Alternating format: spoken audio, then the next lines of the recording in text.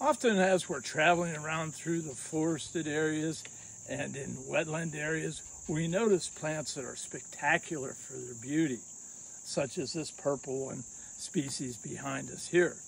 But oftentimes the plants are invasive, meaning that they're very prolific seeders uh, or they spread very fast.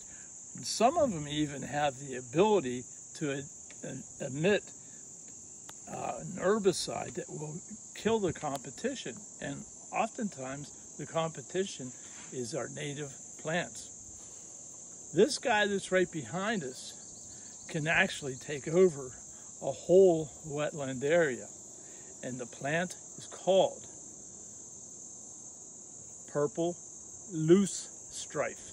It gets the name loosestrife because there's an old legend that says if you pick the plant and there's a bull chasing you, like they do in Spain, you just wave that loosestrife and it will calm the bull down and it will no longer chase you.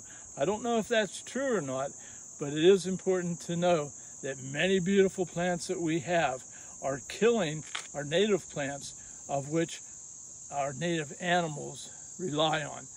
If you enjoyed this segment, give me a thumbs up.